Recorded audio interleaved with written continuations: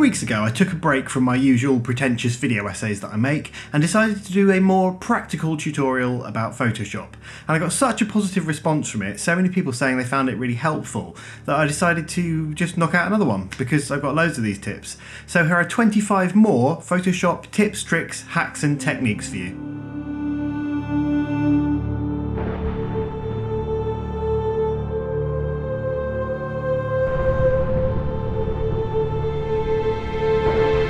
So in keeping with the tradition set up by my last video, before we jump into tip number one, I'm going to show you something weird and pointless that Photoshop can do. And this one is in your interface settings in your preferences. So on a PC, you go to Edit and Preferences, or on a Mac, you go to Photoshop, Preferences and Interface. So here in your appearance box, you can select your color theme and you can change how dark or light the interface is. But if you hold Alt and Shift or Option Shift on a Mac, when you click these, these turn into toast. But if you're not happy with toast, if you hold Command or Control on PC, they turn into coffee. And like the banana tool in the last video, I have absolutely no idea what the point of this is. So the first thing I'm going to show you is a feature called droplets. And this is a feature that creates a little icon that you can keep on your desktop or in a folder somewhere and it will apply a Photoshop action to files simply by dragging them to that icon without having to go into Photoshop and go to automate and all that normal stuff. So let me show you how this works. So in Photoshop you go to file and to automate and create droplet and it'll bring up this dialog box. So under this section here entitled play, we have a list of all the actions that I've created and I've created a set called Photoshop tips and within that I'm going to select this action here called Instagram. And this is an action I've set up that will resize my images and put a border around them how I like to have them when I upload to Instagram. So I'm going to send that to my desktop and click OK. So if I go to my desktop, I've got this little icon here that is the droplet and it's called Instagram. I've got this folder called portraits for Instagram here and here we can see all my portraits. They're all very large and they are not ready for Instagram yet. But all I need to do now is drag this portraits for Instagram folder to this droplet icon and you can see these resizing so now that's applied that action to that whole folder without having to go into Photoshop and do loads of stuff. I can just keep that on my desktop and every time I want an image for Instagram, I can just drag the folder or the image to that droplet and it will create something Instagram ready for me. This next one's a nice little one and it's how to identify a font in an image. So I'm just going to take this EasyJet image here and to make the type a bit more legible, I'm going to crop it using the perspective crop tool. Then we go to the type menu and go match font and it brings up this little dialog box here. So what I'm going to do is I'm going to drag this around here and here we go Cooper Black which is the font there and you can download that from the Adobe Cloud and use it in your image. So this next one needs to be used sparingly. It's quite destructive and it's quite temperamental, but if you're just doing a quick mock-up of something, it's a really quick way to change the colour of something. This is the colour replacement brush. So say you want to change this EasyJet orange to something like blue like that or something. I'm just going to cycle through my brushes by Shift and B. This is the colour replacement brush. I'm just going to make my brush a bit bigger and I'm just going to paint in the orange areas here and you can see that is nicely changing that to blue and that's done. So this next one is something I do that I find makes my layers easier to navigate. So when you've got a document like this, I've got all these W's here and they're all on separate layers and the default Photoshop view just shows it like this. But if you go to this little icon here and go to panel options, what you can do is you can firstly change the thumbnail size, but secondly, and more importantly, I think, is you can change the thumbnail contents to layer bounds. And what that will do is crop the thumbnail of the layer to only the contents of the layer and not the whole layer, so it makes it much easier to see what's going on. Of course, you can change these options as you go to best suit the document you're working on, but this is my personal preference I find for most documents. So number five is a way I like to fix skin tones in Photoshop, and this is a variation on the matching colours with curves that I did in the last video. So let me show you how this works. So here we've got an image from a wedding I shot. It's not the best image, but it shows well the problem we had on this double-decker bus. They had this beautiful old Routemaster bus, but it had this horrible, very greeny yellow fluorescent ceiling that was bouncing off onto everyone's skin and giving them a horrible greeny yellow tone on their skin. So a good way to fix this is to go and add a curves layer. And as before, we've got to make sure we select the curves, not the mask. And we're going to double click this mid-tone eyedropper. So I can pick an area of skin tone. And one important thing to mention here is that you must make sure the sample size isn't just a point sample. 5x5 or 11x11 average is good because that takes an average of a group of pixels. So I'm going to click here and here we have our skin tone taken from here. So now what you want to do is edit this color to a better skin tone. And this is tip number six. And this is using Photoshop as a calculator. So if you read around a lot about skin retouching and getting the perfect skin tone, a kind of rough rule of thumb is that the magenta should be twice what the cyan is, and the yellow should be two and a half times what the cyan is, and that's not what we've got here. So the cyan is probably a little much because of all this green. So I'm going to just take that down to maybe down to maybe 14. So this is the maths bit. So we want magenta to be twice 14. So I'm going to do 14 times 2. And it's going to give me 14 times 2. And the yellow, we want to be two and a half times cyan. So we're going to do 14 times 2.5 and that's going to give me 14 times 2.5. And so this is our new improved skin tone. So do I want to save this as a default? I'm going to click no because I'm only doing this once. I'm going to click back in the same area. And that has changed our skin tone. It's a little bit magenta so I'm going to click back in here and I'm going to take the magenta just down by a little bit. So that's taken just a little bit of that magenta out of the skin tone. So that's where we were and that's where we are now. And that is a much better skin tone. So this next tip, number seven, is how to get a much better shadow and highlight feature in Photoshop. And for some reason, Photoshop doesn't seem to prioritize shadow and highlight very highly. Not like it does in Lightroom, because in Lightroom it's right there in the, that first box, it's right there with your exposure and your contrast and everything. And it's generally something people change quite a lot. And in Photoshop it's hidden away in the image menu and in adjustments there's not even any shortcut key for it or anything. So anyway, here is an image I took at a wedding. It's a bride and a groom. I took them out on the beach as the sun was just about to set and they are dramatically underexposed here. Um, and then all the detail in the sky is quite bright. So if we bring up the exposure, we're going to lose detail in the sky. And if we bring it down to get the detail in the sky, we're going to lose them. So you would normally go to your shadows and highlights. So we go to image, adjustments, and shadows and highlights. And it brings up this little dialog here, a shadow slider and a highlight slider. But if I do that, it looks absolute rubbish. It looks like one of those horrible HDR things. So what you do here is click show more options and then you're presented with all these other options. And the key one here is radius. Now, tone affects how much of the image it classes as shadows and how much of the tone it classes as highlights. The amount is how much it raises it by, and the radius is the feathering around each pixel by which it will apply the effect. So if you want to soften that effect down a little bit, just pull out the radius and then we can recover the shadows and the highlights without it going to that horrible HDR look. And we have a much better, much more natural looking image. But of course, there's another way to do this, and this is tip number eight. A lot of you will know this, but some of you might not, and this is the select subject option. So to get this option, you need to go to your magic wand tool or your quick selection tool. And when you do that, you'll notice this select subject button has appeared. Select that and it's given us a marquee around what it thinks of the subject. And there's a little bit missing here, so we just fill that in. And we've got a selection of our subjects, and eight or nine times out of 10, that will work pretty well. So, what I'm going to do now is I'm going to go to a curves layer, and because I had a selection, it's automatically made that a mask. And I'm going to bring them up in exposure wise. And to avoid any sort of rough edges, I'm just going to feather that mask by a good bit there. And that's a nice quick simple way just to raise the exposure on your subjects a little bit. So this next tip, number nine, is for files like this, where you have a very large file with lots and lots of layers in.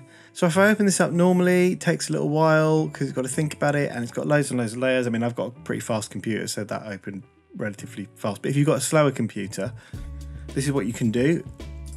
If you just want to open it without all the layers and you just want to have a flattened image, you hold Shift and Option or Alt and Shift on the PC Click open, and then you get this dialog box asking you if you want to read the composite data instead. You click OK, and it quickly just opens just a flattened version of that image. So now I've reopened the layered version of this, and this is tip number 10, using blend modes with adjustment layers. So I've got this image here, but I'd like a little bit more contrast in it. So I'm going to add a new curves layer.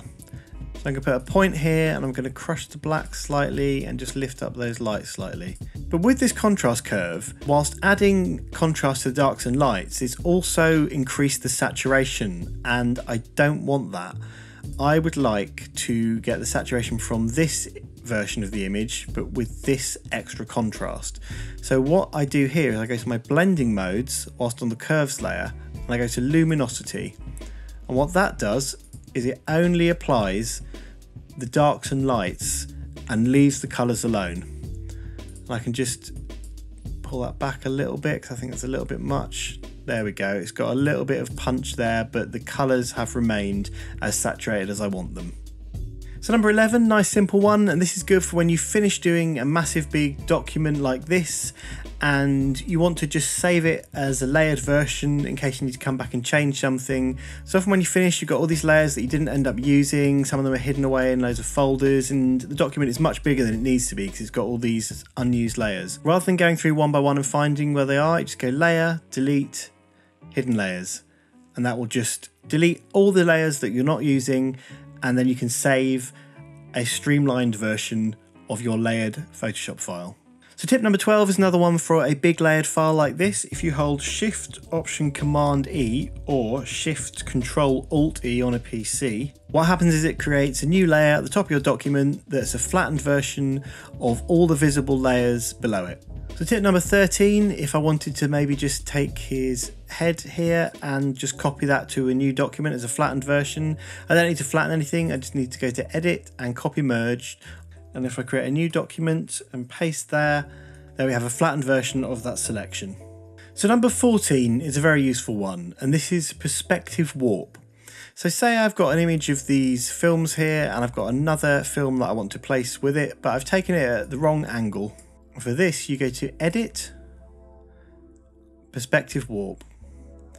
And what I'm going to do first is I'm just going to draw a box here and I'm going to move these pins just to the edges of one of the sides here. And then I'm going to do the same over here. And if you notice these have gone grey, that will snap. We're going to put that there move this in slightly. And then we're going to do another one from up here. I'm going to move this down to here. That's going to snap there. And then that's going to snap there. So what we do now is we change this from layout to warp. And now we can warp our box here. I'm pretty happy with that. So I'm going to click the tick here and it's going to just apply that there. I'm going to put this down here. I'm just going to add a shadow We've gone from that to that. And this doesn't just have to be done on objects, it can be done on scenes as well. Edit, perspective warp. Gonna go from the corner here. I'm just gonna lift that up. What you want to be wary of is that these lines here are running parallel to whatever's on the image. So you can kind of see there that that's, that's about right. I'm gonna go from this corner and that should snap and then go down to about there. So I'm now going to click the warp button again and if you hold shift and click the intersecting lines then you can move two points together and it will straighten the lines. This is obviously quite an extreme example but you can do this in a lot more subtle ways just to match up perspectives on an image you've taken, just tweak things slightly. It's a very useful feature. So on the subject of perspective, tip number 15 is the vanishing point feature. So here, if we have a building like this and we want to maybe clone stamp it up, or you can do it on a pavement or a row of buildings or anything that has any sort of perspective in it. You go to filter and vanishing point. And now this dialog box opens. The grid tool is automatically selected, so I'm going to draw a grid to match the perspective of the building. Now that I've drawn that, I can grab these side points here and extend them out, and Photoshop will extend the grid, but it, will extend it proportionally to the perspective plane of the building. And now I'm going to select this tool, which is the clone stamp. Now if I Alt or Option click here, you can see as I'm moving the cursor around, the preview is adjusting the perspective to the perspective of the building. So I can clone in more building like this, and you can choose whether it's a regular clone stamp or a healing brush etc. And this is a very useful feature for extending buildings or roads or any flat planes that have a perspective in them. So this is tip number 16 and it's an easier way to use the drop shadow. So what I've got here is I've got a gradient and I've just typed the word YouTube. If I double click the layer, it'll bring up the drop shadow dialog box. And rather than going around with your angle and messing around with all these controls here, you can just go straight to the document and drag it around. It's a little bit easier to position it. But the drop shadow is very limited, and tip number 17 is how to use it on a 3D plane. So let me show you. So now I've created that drop shadow, I'm going to right click it and go to create layer. And what this has done is it's created its own layer that is just a drop shadow on its own. So what I'm going to do now is I'm going to Command T or Control T to free transform this. So I'm just holding Command or Control on a PC and I'm just moving these handles to get a bit of a perspective look to this. And there we have our 3D drop shadow. Because of course once you've created a layer, you can do whatever you want to it. You can change the blur with the field blur, you can stretch it, warp it, do whatever. Of course, the major downside to this is it's a much more destructive way of doing it.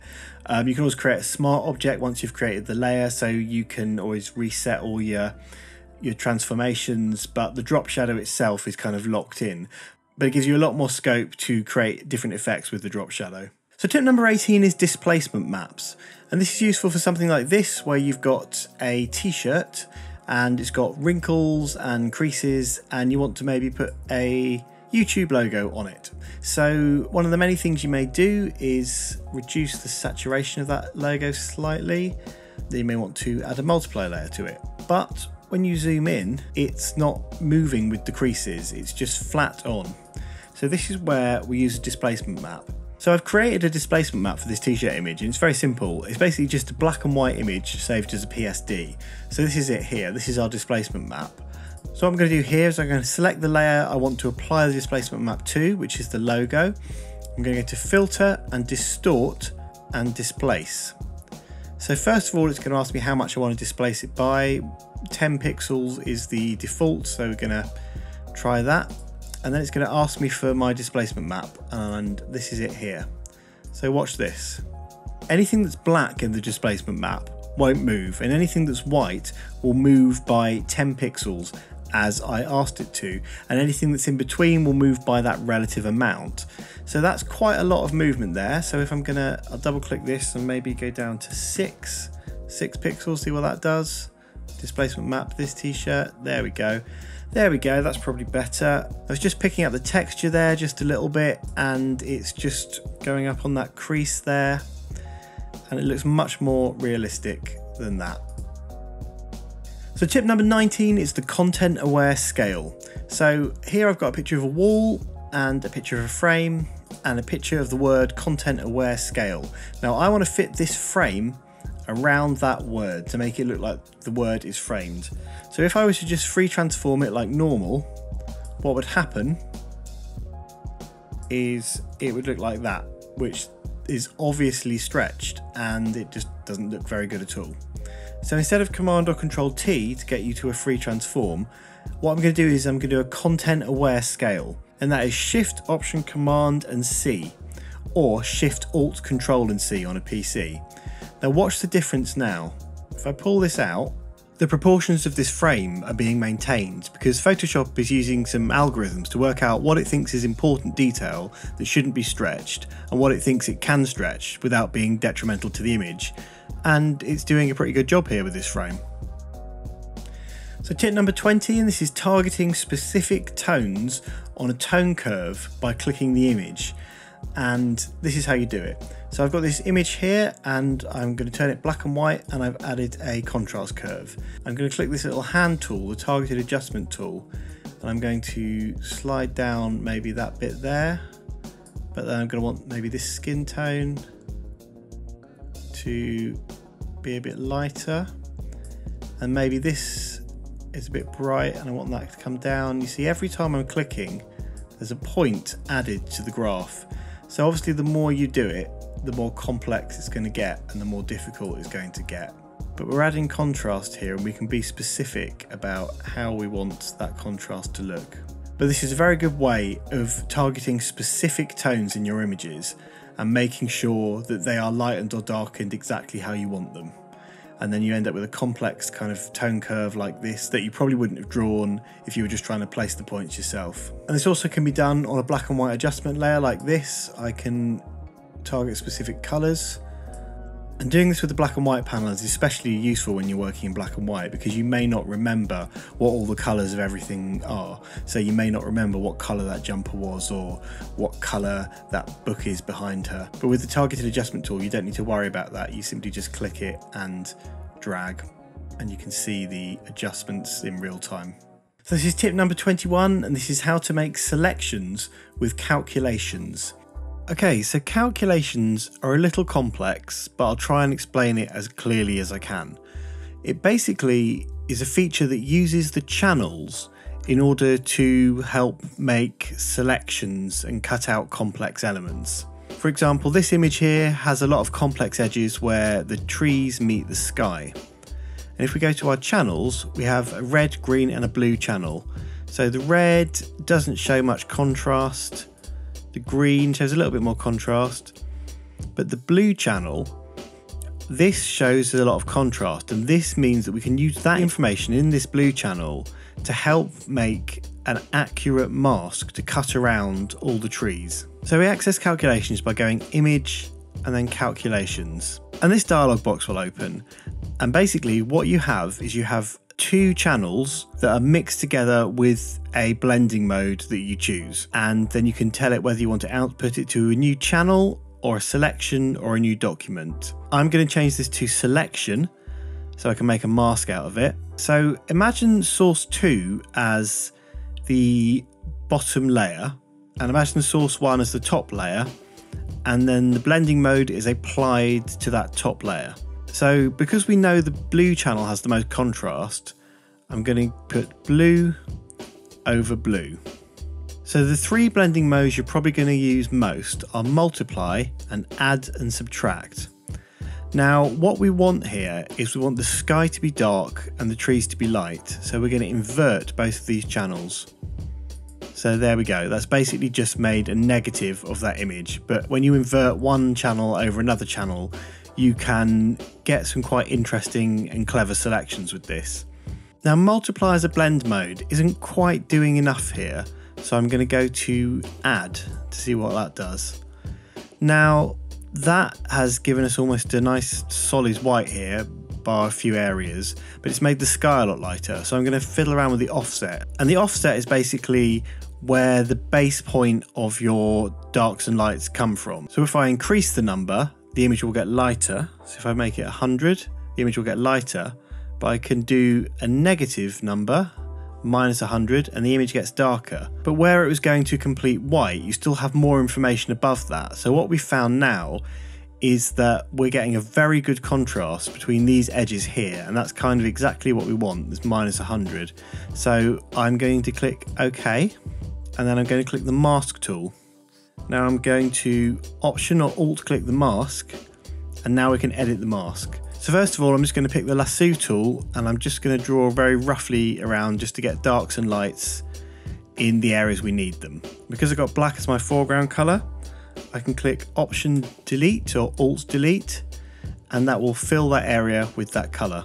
So now I'm going to select some of the whites with the lasso tool and I'm just going to go around like this and to reverse this I'm just going to press X and then optional Alt Delete again just to make that white.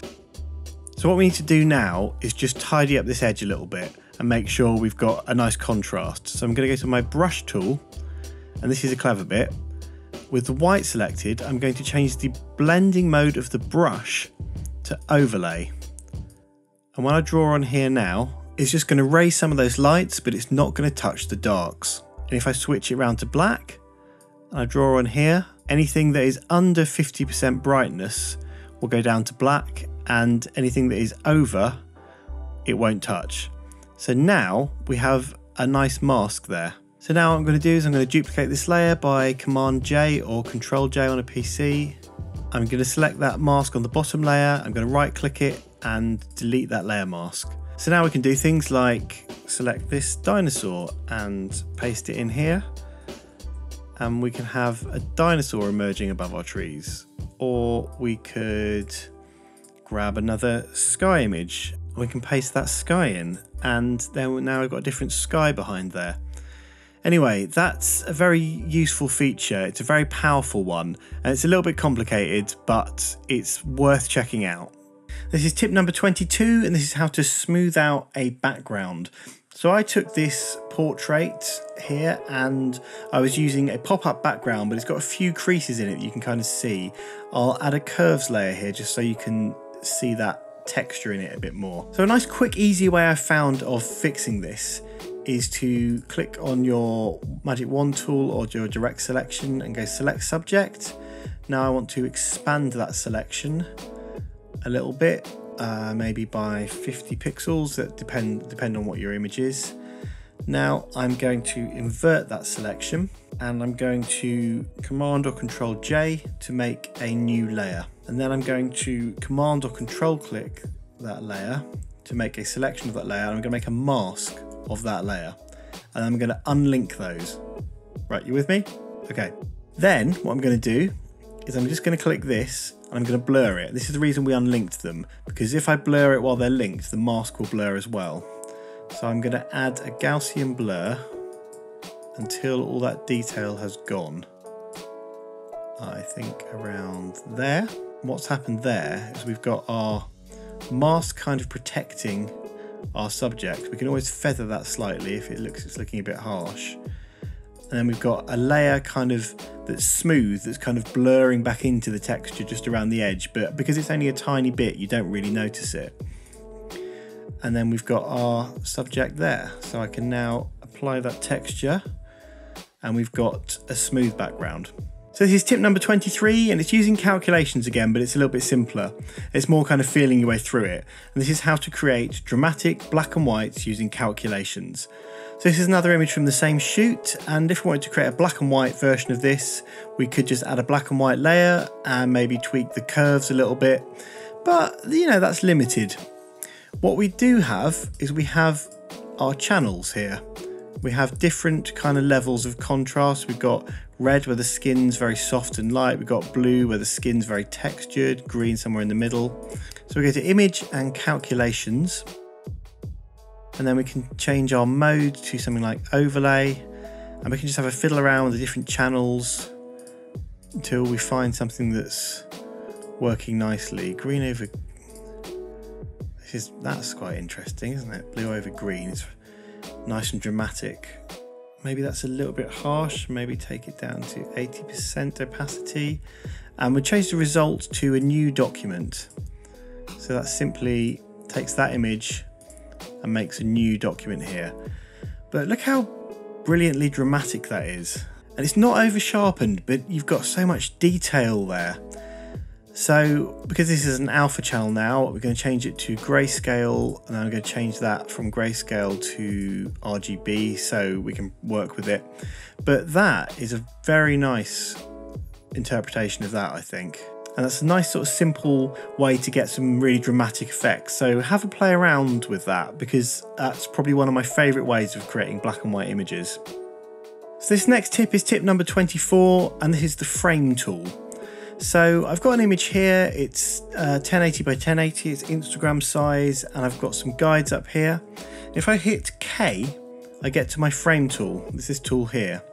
I'm going to draw a frame here, I'm going to draw another one here. So if I say this is a PSD, I can use this as a template. I can just drag in any image I want to into the frame Once you've selected the layer, you double click to select between moving the image within the frame and moving the frame itself. That's a nice little way to make templates if you want to do things like Instagram or magazine spreads or anything like that. So number 25 it uses the new features that they've just released in the updates to the Warp tool. This is 2019, it's November at the moment, so it's that recent update if you're watching this at another time. But this is how to protect an area when you're warping an image. So we have this image of a woman sat on a rock here, and we've got a load of text here that we're going to put as an article on why she likes to sit on rocks. And the problem is, is that she's not ideally placed for this text. It's going over her face, the text becomes illegible. What would be nice if she was kind of just moved out here. So we just need to warp the image a bit. So if we were to hit Command or Control T to get to the free transform, then click this icon here, it'll change to the warp tool and you know we could move her over but what happens is she starts to get stretched and it don't look good. So what you do is you hold Alt or Option and you get this little crosshair. I'm just going to draw a box around her like that to the floor. So it's now split this into six. And if I select in the middle of this box and I pull this over, the proportions of whatever's in that box are being respected and everything around it is getting stretched. So I'm happy with that. So I'll click the tick and here we go. So I just noticed that this channel passed quarter of a million subscribers the other day, and thank you to everyone who's subscribed and to everyone who leaves such supportive comments. Even though I might not have the time to respond to everyone personally, I want you to know that I greatly appreciate it. And thank you also to my Patreon supporters and to anyone who buys my Lightroom presets, as this is what primarily funds my channel and allows me to make the videos that I make. I have a massive list of ideas for future videos, so watch this space for lots more to come.